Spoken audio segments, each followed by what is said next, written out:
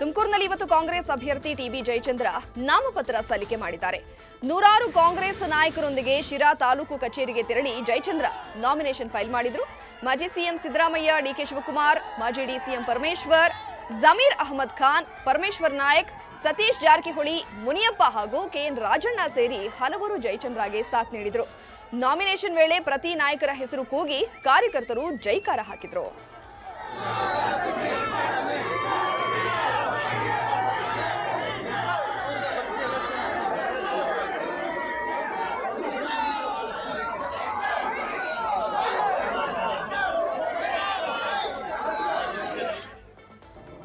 ಶಿರಾದಲ್ಲಿ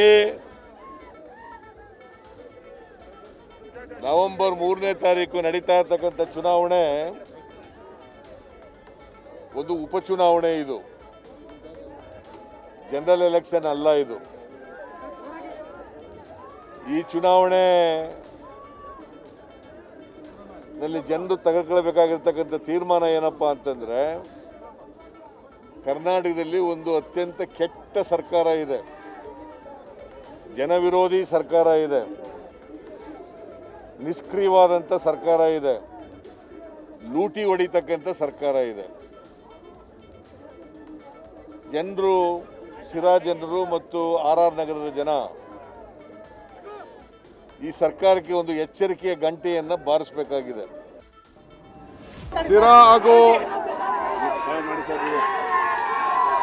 ತುಮಕೂರಿನ ಎಲ್ಲ ಮಾಧ್ಯಮ ಸ್ನೇಹಿತರುಗಳಿಗೆ ನಮ್ಮ ನಮಸ್ಕಾರಗಳು.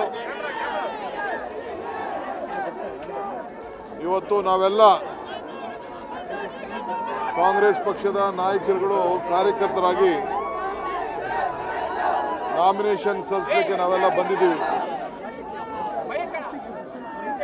ಈ ಸಿರಾದಲ್ಲಿ ಮತದಾರರು ತೋರಿಸ್ತಾ ಒಂದು ಉತ್ಸಾಹ, ವಿಶ್ವಾಸ. ನಿಮಗೆ ಚುನಾವಣೆಯ ಫಲಿತಾಂಶ ಏನಾಗ್ತದೆ ಅಂಥೇಳಿ ತಾವೆಲ್ಲ ಕಣ್ಣಲ್ಲಿ ನೋಡ್ತಾ ಇದ್ದೀರಿ. ಒಬ್ಬ ರಾಜ್ಯದ ಹಿರಿಯ ನಾಯಕರಾದಂಥ ಅನುಭವಿ